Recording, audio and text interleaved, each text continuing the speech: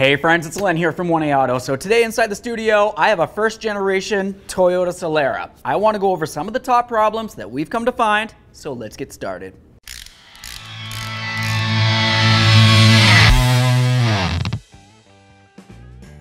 To get started, let's get under the hood. For the first problem, we're going to talk about a faulty IAC valve. Now the IAC valve essentially stands for idle air control valve, and that's going to be very important to the runnability of your engine, especially when you're idling. To locate it, it's going to be located right under here, and it's going to have three hoses coming off of it and one electrical connector.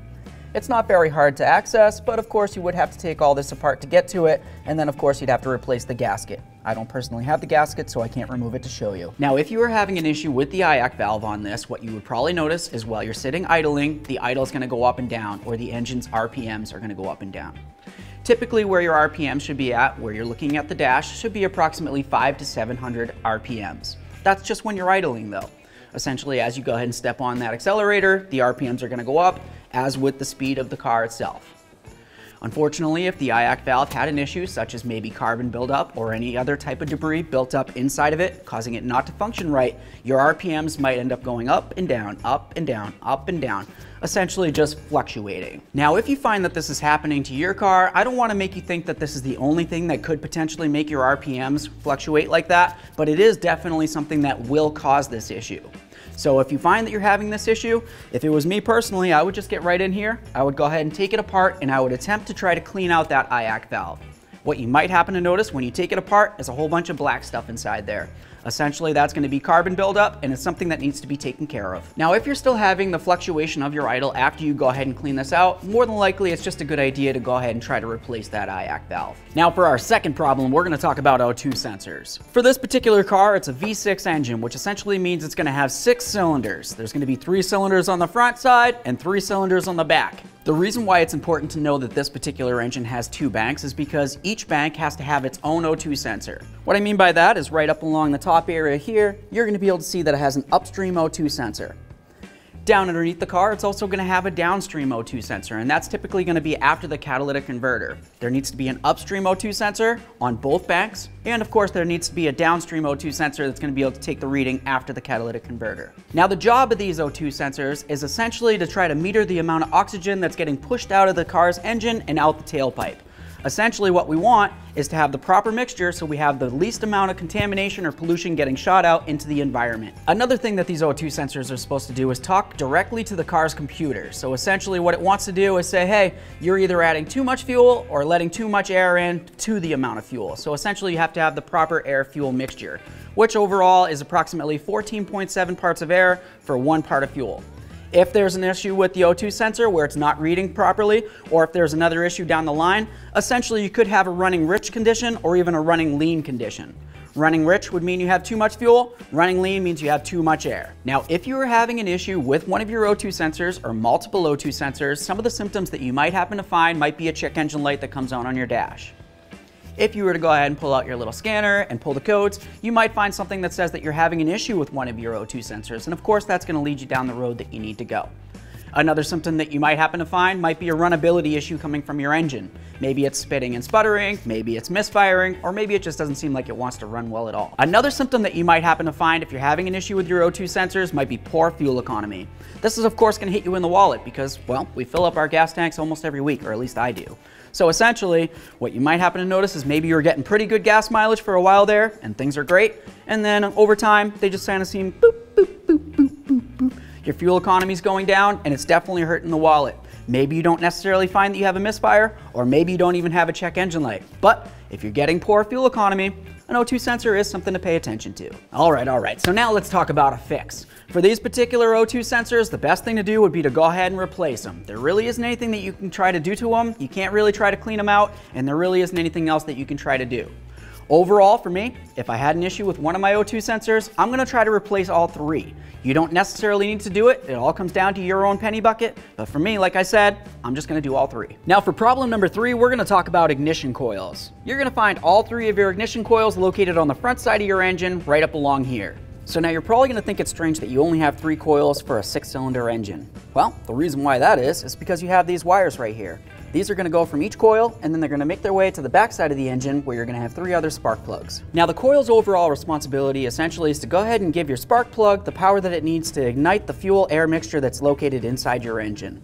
If for some reason there's an issue with one of your coils or multiple coils, you're of course going to have a runnability issue. Something else that you might happen to notice if you're having an issue with one of your coils might be a check engine light on the dash. That's going to be a very common thing if you're having an issue with an engine type component. Other than that, what you might happen to notice is you have a runnability issue. Maybe you have misfiring down the road, or even it kind of seems like you're running on four cylinders instead of all six. That might be an issue. Now, what could go wrong with one of these coils that might actually cause this issue? Well, let's have a look at one. This isn't the one obviously for this car, but it is one that I have in my hand. Essentially, the coil is going to come down into the engine area, and then of course it's going to go right onto that spark plug.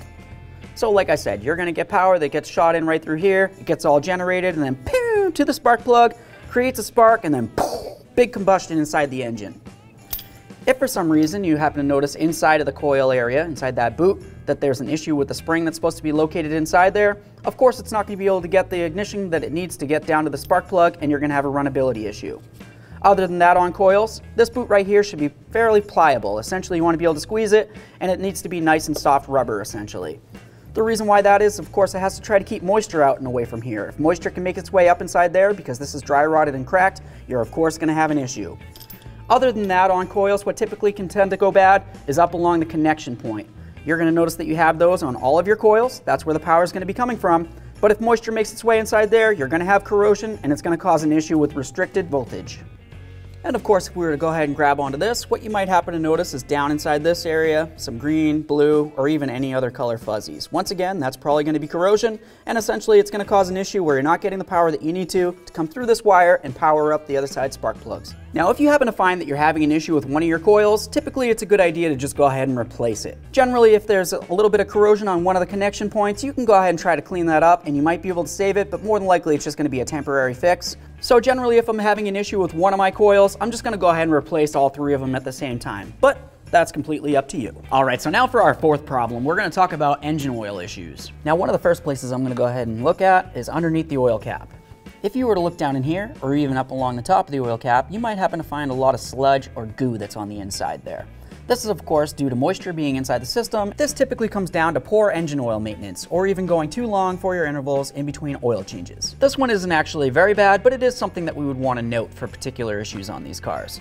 A couple other symptoms that you might happen to notice is maybe in between intervals when you check your oil level, it's frequently low. Or you might potentially have black smoke coming out your tailpipe, which essentially means that your engine's burning oil. And then we're gonna move along to engine oil leaks. Common areas that you might find engine oil leaks on these particular cars would be along the valve covers. There's gonna be two of them, one on the front side here, and then one on the back side. In between the engine and the valve cover, there should be a gasket that comes in between here. Those typically go bad, and you're gonna find engine oil just kind of making its way, coming down across the front or even rear of your engine. Obviously, as you can tell, you have your exhaust manifold right here. The exhaust manifold is going to get very hot, upwards 200 plus degrees typically, and of course that's going to cause an issue if you have engine oil that's running out and coming down onto the manifold. Now the valve cover isn't going to be the only area that could potentially leak oil on these engines. Of course you're going to have an oil pan, you're going to have several other gaskets that could potentially leak. So of course go ahead and check over your engine and check for any other leaks. You don't want to just go ahead and fix one leak and not fix all of them at the same time. And if the issue is that you're having sludge build up inside your engine, obviously that's something you're going to want to take care of. Typically, if you wanted to, you can get yourself an oil system cleaner of some sort. Go ahead and run it through the system, and then after maybe about 500 to 1,000 miles, make sure that you do your oil change. Okay, so now for our fifth problem, we're gonna talk about internal engine valve issues. So now, like I said, the valves are going to be located inside your engine, essentially underneath your valve cover. That's this area right here. You're going to have two valve covers, one on the front and one on the back, like I told you before. Underneath these valve covers, you're going to have valves. Those valves are supposed to operate so your engine can breathe in and out properly. If you're having an issue with the actual breathability of your engine, it could potentially come down to the valves. And it's not necessarily the valves that are the issue, it's more actually the valve adjustment that's the issue.